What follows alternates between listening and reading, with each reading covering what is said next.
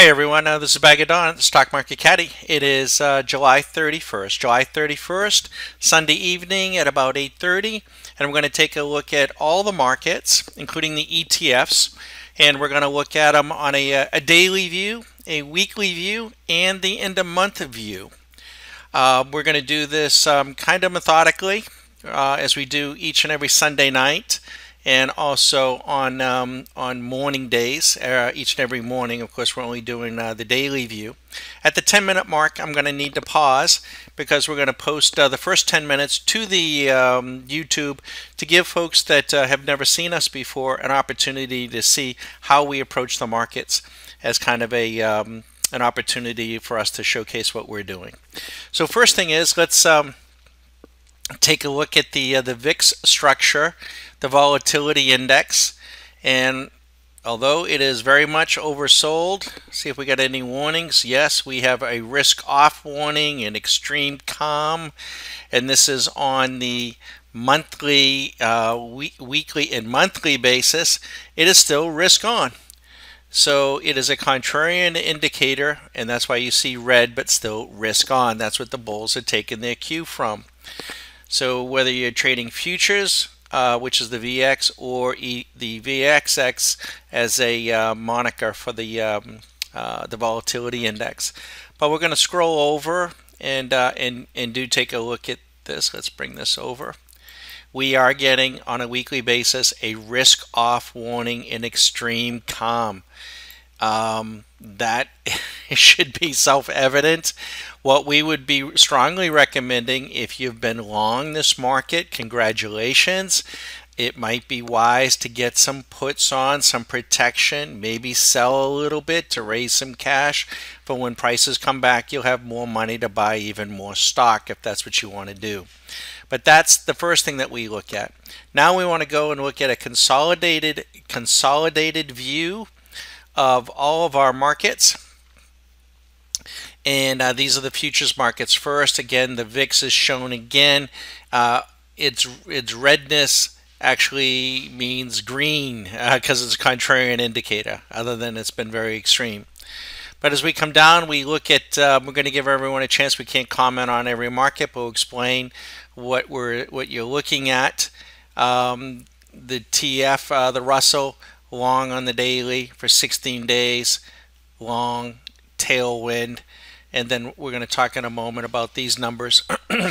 but um, the indices um, long TF uh, 11 weeks and but it's been short on a monthly basis for as long as seven months although it's been a very significant counter trend the uh, the ES contract the S&P long on a daily 17 days long on a weekly 16 weeks and on a monthly basis 70 months not even a hint of any selling to speak of that's registering on the swing machine. NQ, same thing. The Dow, the Dow is showing on a daily basis that is entered into after 17 days being on the run, entering into a little chop.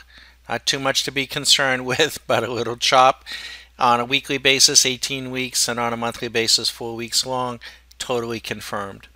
Now we're going to scroll down and let everyone um, slow the video down to any of the currencies that might interest you. We don't, in the interest of time, will not comment other than on the dollar.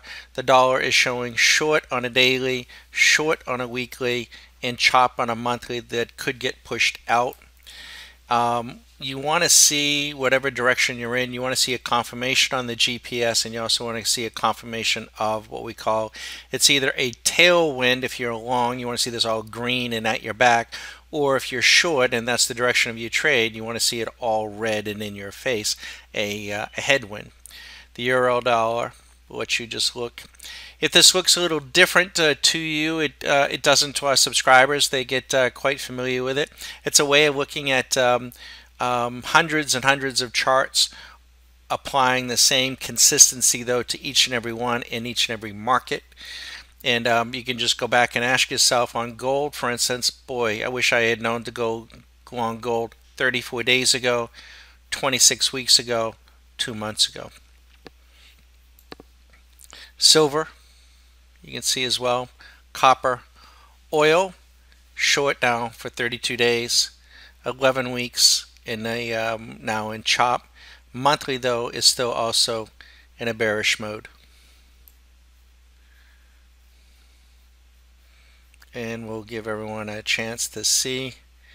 On a daily basis, the 10 year is flashing a short entry, which is interesting, not yet confirmed. Uh, on a weekly and monthly basis, it's been long. Same thing with the um, the U.S. Uh, bond, the 30-year bond.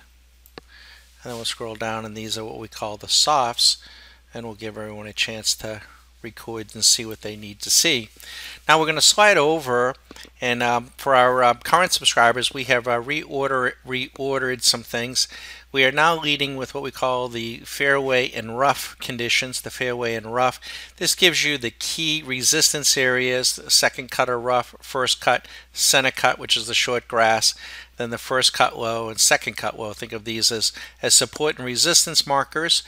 Um, and they also uh, correspond to each one of these of course daily weekly or monthly and now we already show these on a weekly on on Sunday evenings on the uh, the morning videos. We're just purely looking at the daily numbers.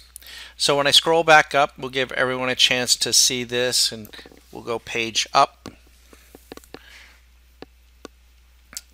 And when we look at the the Russell for instance you can see we are very much um, getting into, um, well, on the second cut, it's interesting, almost identical on the daily and weekly, and that's quite rare. Um, on the ES, 2180 on the daily, 2184 on the weekly, 2201 uh, on the monthly.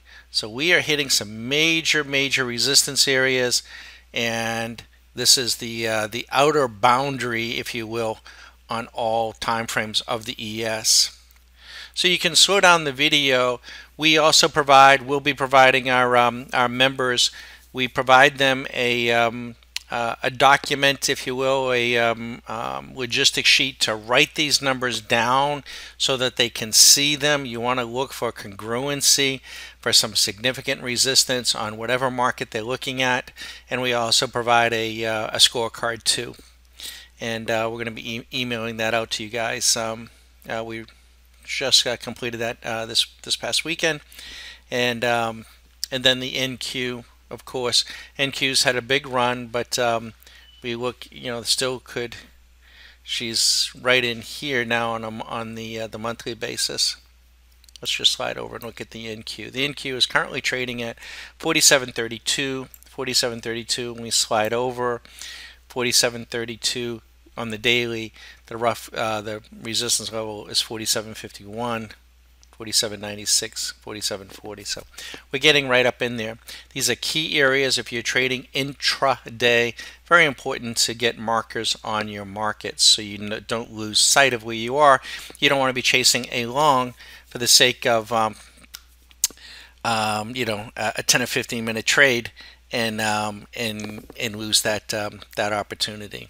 Um, you know, in, in some sort of a massive sell-off is I guess what I'm saying. You don't be going along for 15 minutes and then get, you know, run into these stiff resistance and have the thing just, you know, have them pull the, uh, the rug out from under you. You got to consider the risk reward. And then these are the outer boundaries, and generally they're wider than this, but um, also gives you, you would consider this pricing getting outside here, which some of them are pressing um, is really we would consider out of bounds. RSI is interesting. Uh, look how low the VIX is on a daily, quite low. Look where the uh, the NQ is above 70, quite high, um, significantly um, over overcooked. I hate to use the word overbought or oversold. We'll scroll back down, look for an RSI. Silver, very, very much overcooked just because an oversold or overbought conditions can lead one to think, oh, I'll go short it. That's not necessarily the case. Overbought can become more overbought and can stay overbought. There are signals and triggers that you want to look for, um, and we provide those to our um, subscribers. We're nearing uh, the 10 minute mark, so we're going to need to um, pause this video. If you come across this video on the, uh, the internet, please um, feel free to contact us because we go into a lot more depth. We do all the ETFs, we do the prima donna stocks, we have specific setups and triggers for folks to, um, you know, take, um, you know, some opportunities in the market. We look at the markets this way each and every day. It's the same, and um, we try to be as objective as as possible. Very unique. Thanks, and uh, members will be right back.